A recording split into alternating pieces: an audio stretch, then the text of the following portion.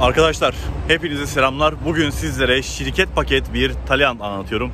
En boş paket 1.0 SC yani alıp alabileceğiniz en ucuz, en boş bir Taliant anlatacağım. Bu Taliant 167.900 lira. Bu aracı Egea'nın en boşuyla kıyaslayacağım. Egea'nın en boşu da 146.900 lira civarında. Asıl rakipleri bunlar. Şimdi gelin beraber en boş Joy paket Taliant'ta ne var bakalım. Öncelikle şöyle anahtarını göstereyim. Bakın. Karşınızda yeni Renault Taliant en boş, en ucuz versiyon. Bu araç giriş paketi. Şöyle arka bölümünde görmüş olun. Bu aracın dolu paketini çekmiştim. Onu izlemek isterseniz yukarı bırakıyorum. Şöyle bakalım led stoplarımız var mı? Bir stopla yakayım merak ettim. Evet şu an stoplarımız yanıyor ancak stoplarımız halojen.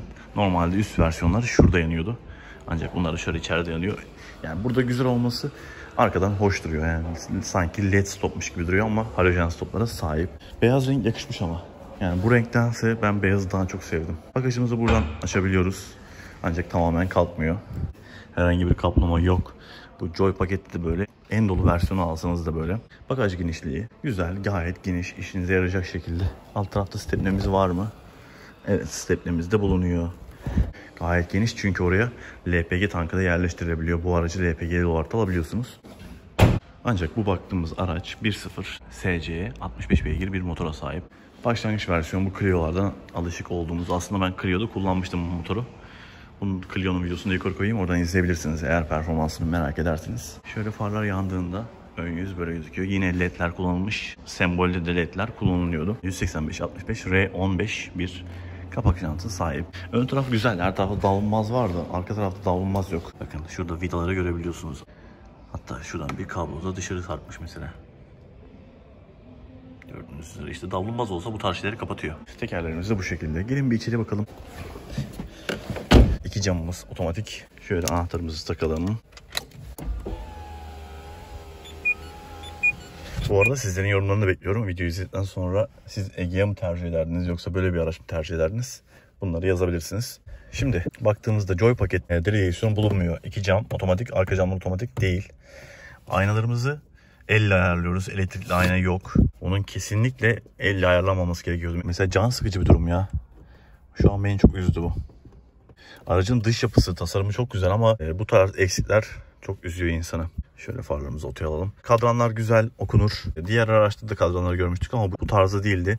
Niye bu tarzda derseniz orta tarafta arkadaşlar radyo ile ilgili herhangi bir tuş bulunmuyor. Maalesef radyoyu sağ taraftaki yolcunun kontrol etmesi mümkün değil. Buraya telefonunuzu ancak bağlayabilirsiniz. Medya kontrol ile Bluetooth'la bağlanıp bir uygulaması var. Uygulama sayesinde telefonunuzu teyip gibi yapabilirsiniz. Burada bir USB girişimiz var. Müziğinizi buradan ayarlayabilirsiniz.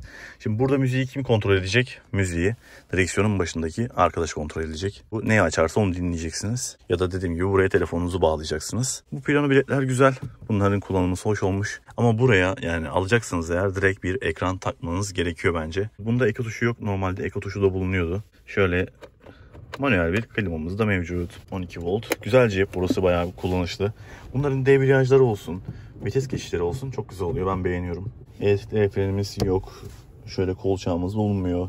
Koltuklar üst versiyonlara göre sanki daha ince geldi. Daha kısa geldi. Şöyle baktığınızda müziğe girelim bakın.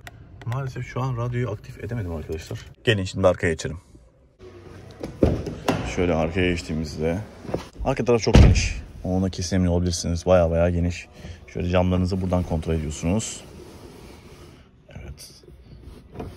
Manuel bir cam var. Şurası şöyle bir halı. Arka taraf dediğim gibi gayet geniş. Öbür tarafta mesela dolu paketlerde arka tarafta bir sehpa da olurdu. Bu araçta bulunmuyor.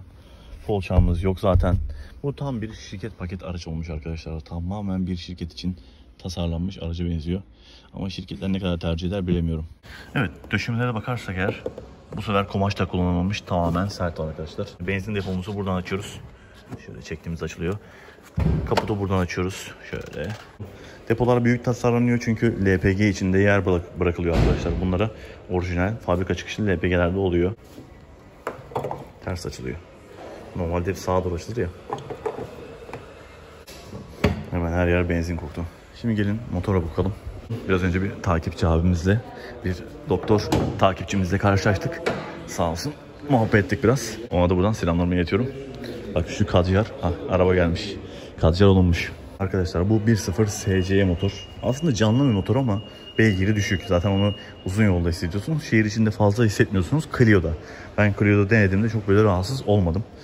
Ama tabii ki beygir olarak, tork olarak düşük bir motor. 1, 2, 3. 3 tane silindir bulunuyor. 3 tane kaburga bulunuyor. E, rahmetli Alican abinin söylediği üzere. Şöyle 3 sinirli olduğu için büyük bir takosa ihtiyacı var. Titreşimi engellemesi adına. Sonrasında bakın burada aslında izlenimi vermiş Renault Dacia diye. Bu araba zaten Dacia'nın bir e, versiyonu ama Renault olarak da satılıyor. Akümüz burada, hafifliğimiz yani her şey küçük arkadaşlar. Hafiflisi dahi minnacık bakın. Motorla beraber o da küçülüyor tabii ki. Motorun düzenini de böylece görmüş oluyorsunuz. Şu arkada sadece egzoz için bir yalıtım yapılmış. Normalde şuraları görmezsiniz çoğu arabada. Yani bu arabanın motor yalıtımı nasıl olacak çok merak ediyorum. Şu siyah parçadan her yerde olur. Kendi arabanıza bakın. Bu araçta kullanılmış. Motor da bu şekilde. Evet, Renault Taliant'tan, Joy paket Taliant'tan bu kadardı. Umarım işinize yarayacak bilgiler görmüşsünüzdür. Umarım donanımlarını sizlere aktarabilmişimdir. Standart bir video ama bunun sürüşleri gelecek. Şuradan da fiyatları da görebilirsiniz. Videom bu kadar. Umarım videoyu beğenmişsinizdir. Kanala abone olmayı, videoyu beğenmeyi unutmayın. Kendinize dikkat edin. Görüşürüz.